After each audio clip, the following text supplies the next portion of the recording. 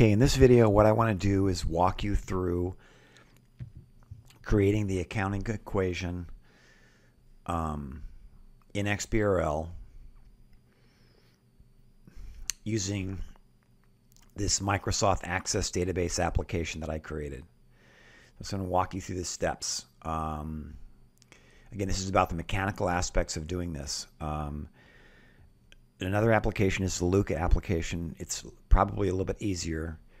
This is a far more, you can actually do more with this application. Um, I'll get into this later, but um, this shows you the basics of using the application.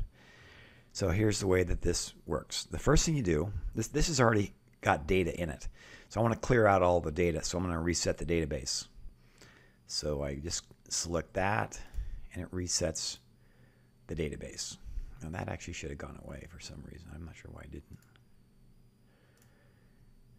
Um, yeah, it's gone now. So after the database is reset, what we want to do is start adding things, and we're going to do it in order. The first thing we do is we enter the base information. Um, this allows you to create a taxonomy where it contains the concepts or it references other concepts. We're going to use local terms here. So we're going to just use that. And then we're going to type in um, the namespace prefix, which is accounting equation, the namespace identifier,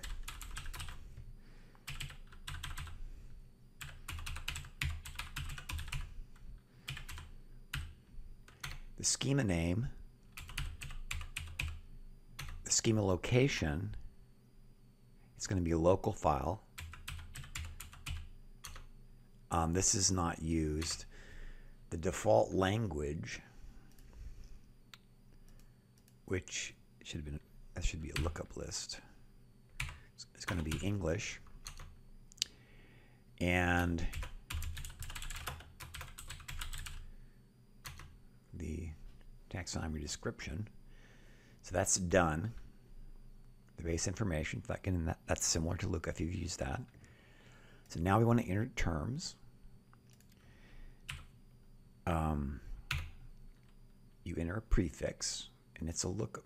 Ah, that should be a lookup list also. Um, accounting equation. The first term is assets.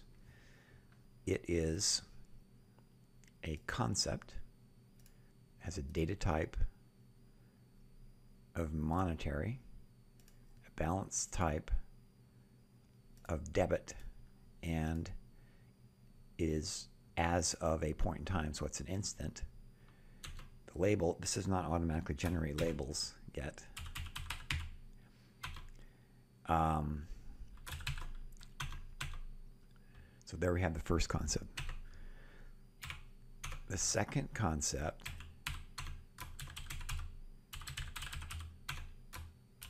it's a concept, it's monetary, it's a debit, it's an instant.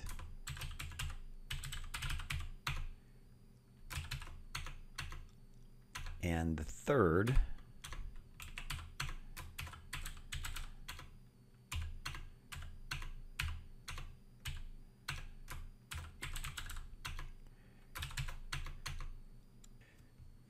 Okay, we have four.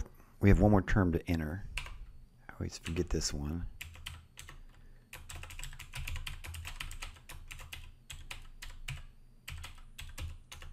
It is abstract, so there is no data type. There is no balance type. Um,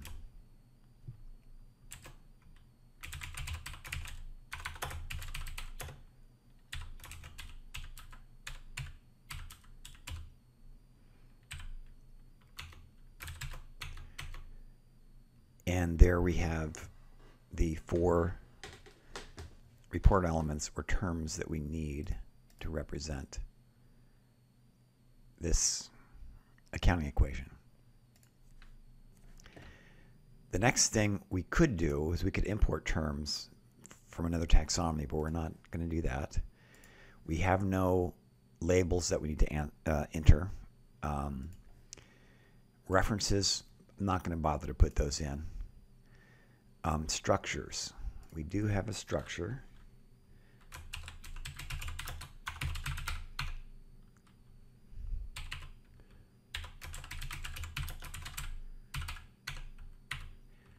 One structure, balance sheet, and we're done entering structures. The next thing we do is we can create associations. So the association type, it's a presentation association we're going to enter. The network is the balance sheet. And we're going to take and associate um, assets with this abstract concept. And um, there's no calculation polarity. There's no preferred label role. We can put a sequence in. We don't have to, but we can. The next one is also presentation. It is also balance sheet. It is also this same term as the parent. The same type of relation. And we are going to now have liabilities. The third, balance sheet, same equity. Oops. It's going to be consistent. and Put that in there. So we have our associations. Now we're going to add rules. So rule code. The rule is this is XPath syntax.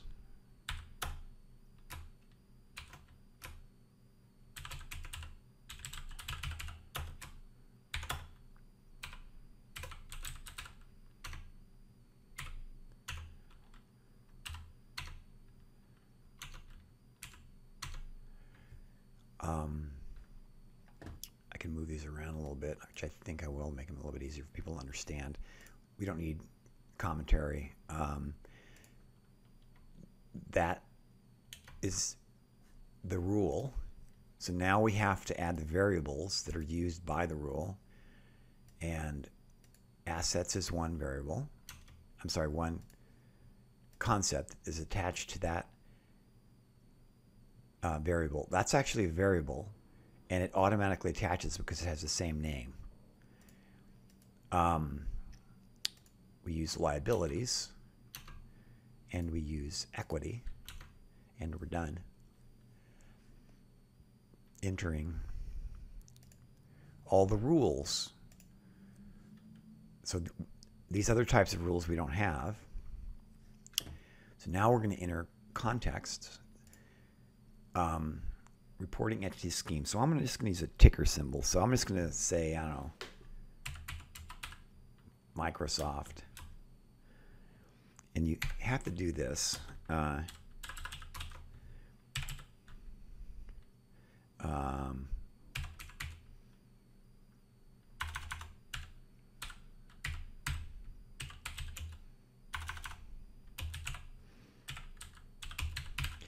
I'm, just making this up. I'm just kind of making up this reporting entity scheme.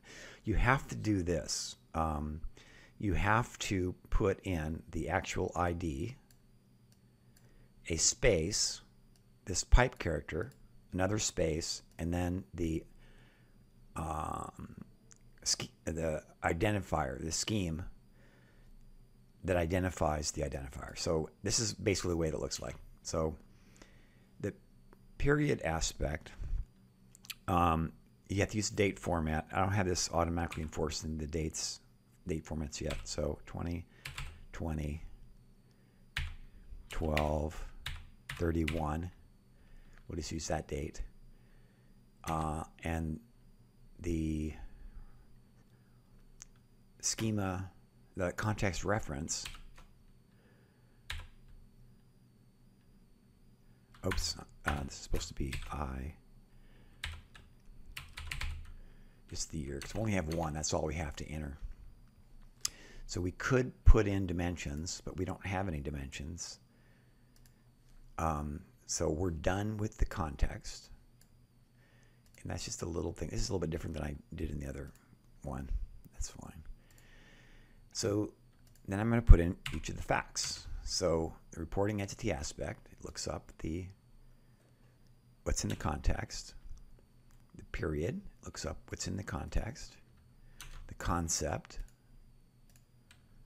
um, the fact value. So let's say we have assets of 5,000. The units um, are US dollars.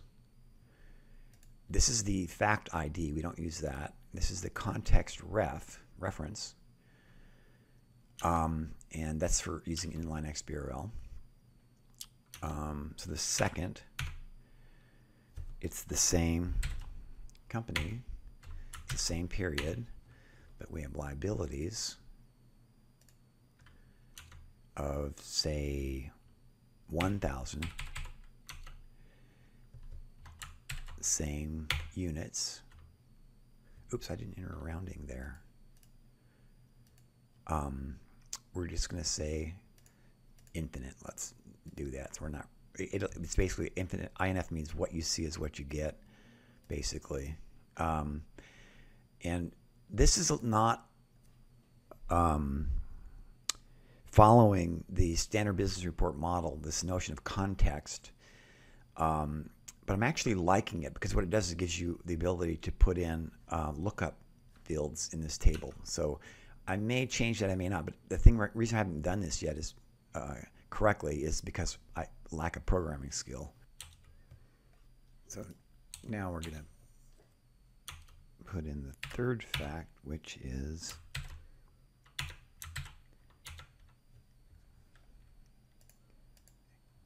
equity make that 4,000.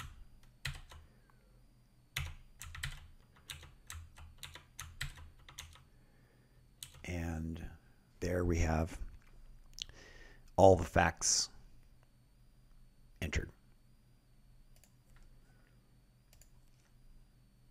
I now have the facts, and that's actually everything that I have to do.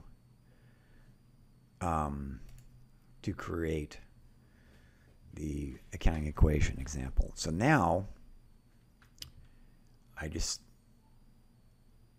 go to this form and I press this button and it generates the taxonomy. That button, it generates the rules.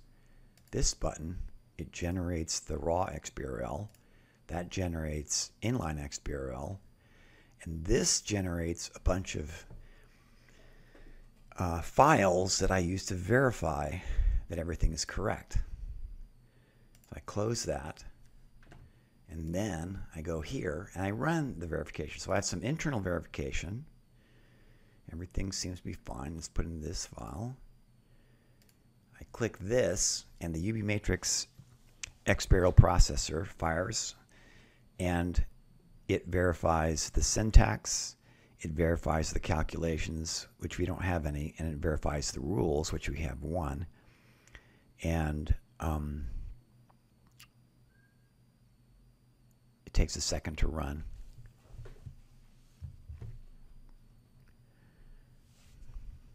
So you can't do this on your computer because unless you buy the UB Matrix XPE processor. Um, I used to work for UB Matrix, and they gave me a copy that I can use. Um, so that's done. So now I'm going to use the XBRL Cloud X run. So that's done pretty fast. I'm going to generate something there. I can show you that.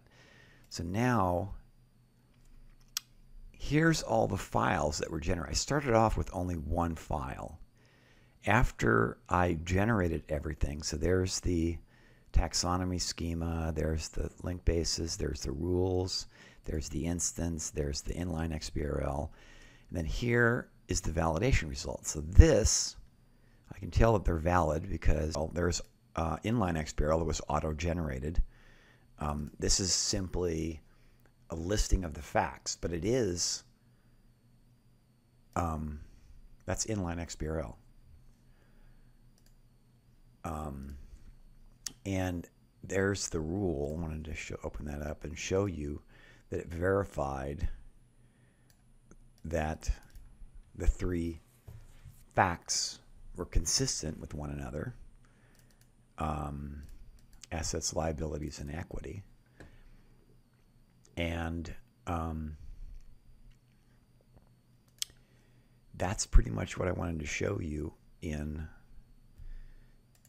this uh, Microsoft, I mean, this Microsoft Access application for creating XBRL instances. I'm going to go into way more detail on this, but I want to do it gradually, to help people get a, a path into the complexity. Um, but that's all you do. You can also do rendering of inline XBRL, but I'm not going to cover that in this simple uh, example. I'm just going to call that good.